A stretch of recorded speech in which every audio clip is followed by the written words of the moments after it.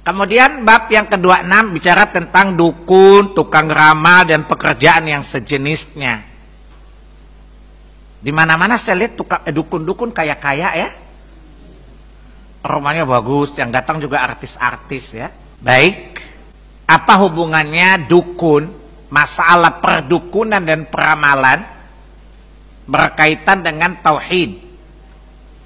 Karena para ulama mengatakan bahwa perdukunan dan peramalan itu satu profesi yang pasti selalu lengket dengan kesyirikan.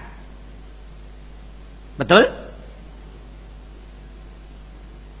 Selalu identik dan selalu dekat dengan kesyirikan. Sehingga Syekh Muhammad bin Abil Wahab rahimahullahu taala memasukkannya dalam satu bab bagian dari kitab tauhid.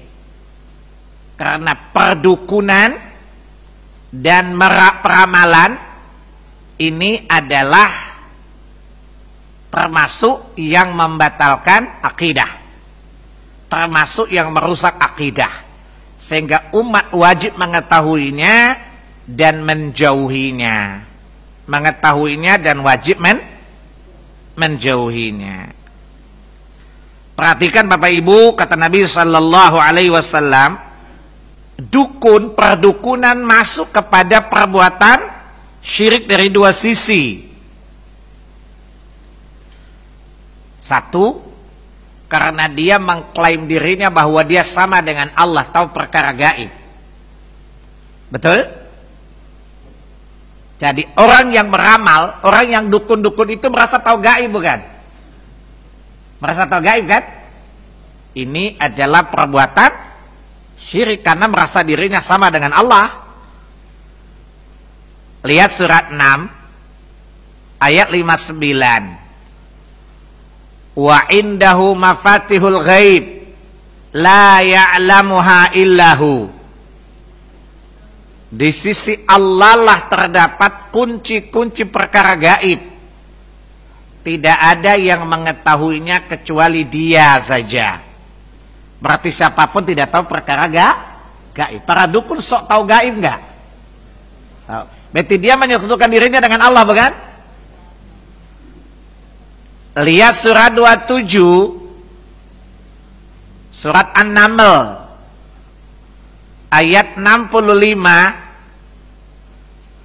Qul La ya'lamu man fis samawati wal ardil ghaiba illallah Katakanlah Muhammad Tidak ada seorang pun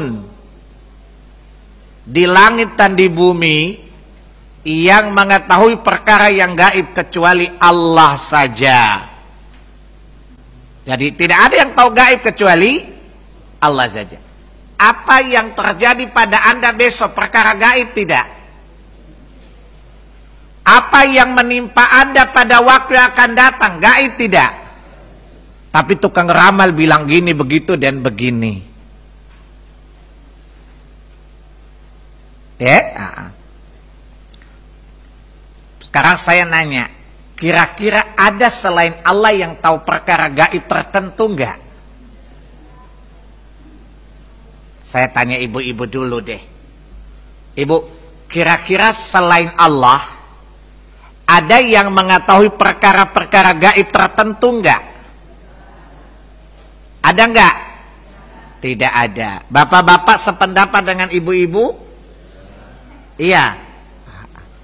Masa bapak-bapak ikut ibu-ibu? Iya.